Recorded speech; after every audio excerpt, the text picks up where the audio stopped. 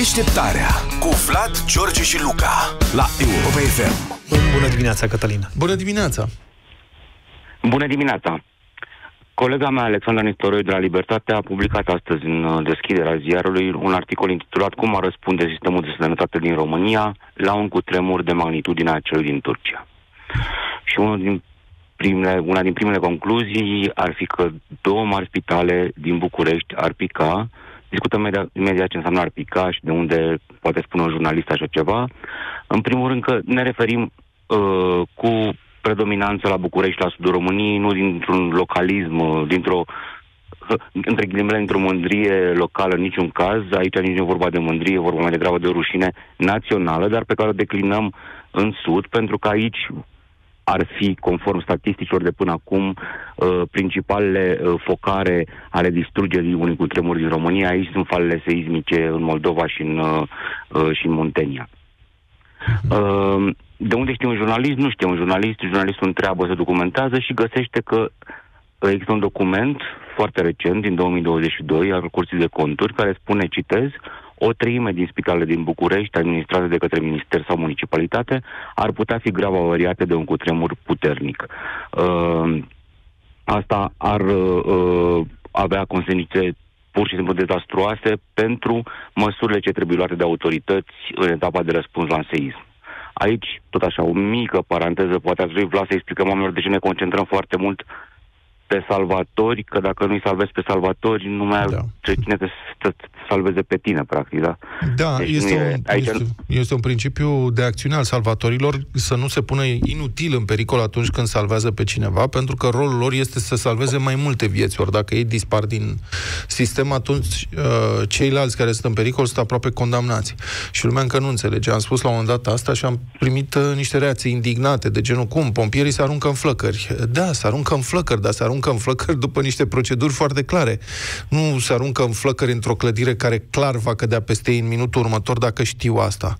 Adică și Eroismul are uh, rostul lui, uh, dar uh, principala obligație a salvatorului este să salveze, nu să se omoare pe el însuși.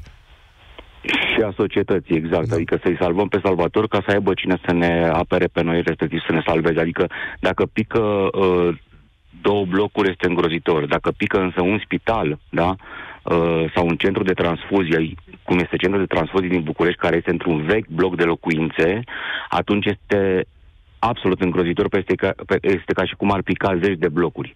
Uh, Fundeniu, de pildă, ca să mergem la cazul concret, este, este un caz îngrozitor de, de, de nepăsare și până la urmă și corupția instituțiilor uh, uh, medicale din România și nu numai, da, ci și a celor care decid politicile publice. Deci Fundeniu este un mic orășel medical din România, probabil cel mai bine pus la punct, unde s-au făcut investiții de-a lungul anilor foarte multe, mă refer dintre cele uriașe, da? Acolo sunt două mari, două clinici uriașe, două spitale uriașe, unul de uh, cardiologie, care deservește tot sudul țării, poate cazurile importante din sudul țării vin aici, și apoi este cel foarte cunoscut de asemenea de oncologie. Tot aici se fac aproape toate tipurile de transplant din România, de rinic, ficat, pancreas și măduvă. Sunt două dintre cele mai importante spitale României care ar putea fi culcate la un pământ de un cutremur mai, uh, mai serios. O mie de pacienți sunt în fiecare moment al zilei sau nopții acolo, peste 1500 de medici, uh, uh, asistenți medicali și studenți care sunt în uh, rezidențiat. Uh, și aici, practic, din păcate, uh, nu e nimic nou, adică zvonul că Institutul Clinic Funden se afla într-o clădire cu bulină roșie circulase cu foarte mulți ani înainte. În 2017 s-a făcut o expertiză seismică și a fost încadrată la clasa 2 de risc seismic. Uh, ce înseamnă asta?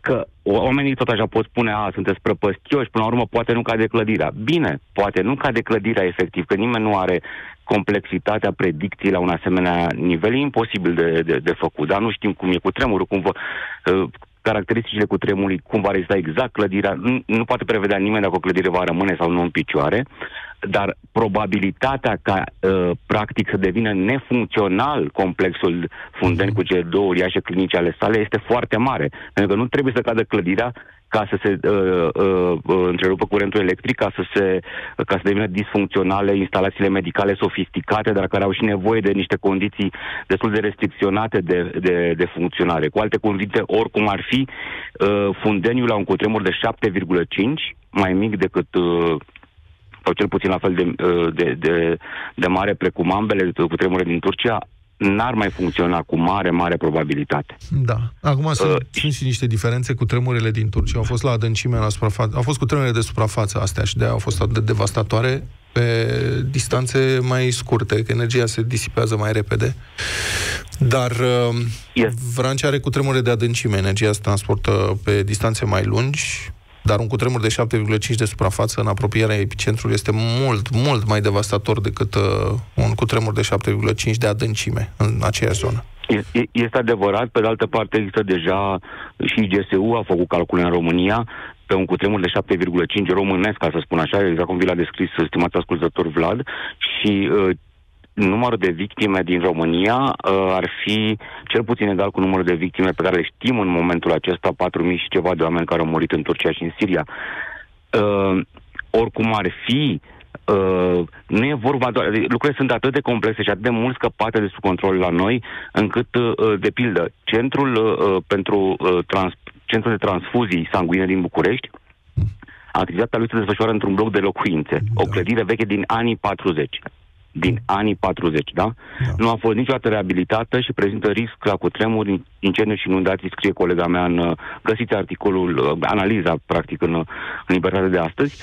Și s-a anunțat în 2017, Gabriela Firea a anunțat, au trecut 5 ani atunci, da? Că va fi construită o clădire nouă pentru centru de transfuzii, suntem 5 ani mai târziu, nu s-a întâmplat absolut nimic. Și problema este că acești centru Asta... de transfuzii, ca să... Da. Scuză-mă. Te rog, scuze. Nu, voiam să spun că asta doar în cazul centrului de transfuzii, din câte știu, și cu clinica Funden și restul spitalelor care sunt cu probleme în partea asta de țară, cred că e simplu, se pot muta în oricare din cele 8 spitale regionale sau în spitalul municipal, care nu e așa? Da, sau în spitalul... Că au fost construite unde... și am pierdut eu inaugurările. Exact, exact, exact. Sau spitalul care primăria sectorului 1 pe vremuri, dar nu sub administrația asta în fine nu contează, îi făcea reclamă, dar el nu exista, da. Uh-huh. Dar se pot muta la spitalele utopice, ficționale. O ultimă, uh, un ultim lucru pentru că oamenii să realizeze cât de, com, uh, cât de complexe, cred că a fost cuvântul cel mai des întâlnit, dar nu e vorba de panică aici, ci de complexitatea situațiilor. Deci centrul de transfuzii sanguine, care este într-o clădire de anii 40, deservește 60 de spitale. Deci spitalele pot deveni nefuncționale prin foarte multe metode. Adică nu e nevoie să se întâmple ceva clădirile alea, nu e nevoie să se întâmple ceva unei clădiri din altă parte a orașului, da, sau chiar a țării, că și în Buzău e centru de transfuzie într-o situație îngrozitoare din punct de vedere seismic, da, uh, și spitalele vor avea o problemă uriașă, uriașă cu tratarea bolnavilor, că fără dacă nu ai sânge într-un moment ca ăsta în care traumele sunt uh, și traumatologia medicală uh, este exponențial crescută de la o oră la alta, uh, n-ai ce să faci pur și simplu. Deci suntem, din păcate, vulnerabili uh, și poate că toate profesiile din țara asta, care într-un fel sau altul și mulți oameni din ele, că ăsta e adevărul, au rămas datori serviciului public, de la justiție, poliție și așa mai departe, își pun problema unde vor ajunge să fie tratați ei, rudele lor, oricare exact. dintre noi, și pentru că, și pentru că nu se face justiție, și pentru că sunt uh, sunt îngăduite în continuare corupția și, și chiar și risipa într-un, într-un hal fără de hal. Da, unele probleme de acest gen pot fi rezolvate destul de simplu prin prin deschidere. Adică, de exemplu, subiectul ăsta, piața transfuziilor, sau cum ar veni, domeniul transfuziilor de sânge, al colectării de sânge, este controlat de stat, este 100% o chestiune de stat, ca așa este în România și România trăiește într-o permanentă criză de sânge. Știți foarte bine, mereu sunt apeluri, se organizează asociații non-guvernamentale, radiouri, oameni de bine, să mai donăm din când în când sânge. Și eu mă mai duc din când în când și donez în clădirea respectivă.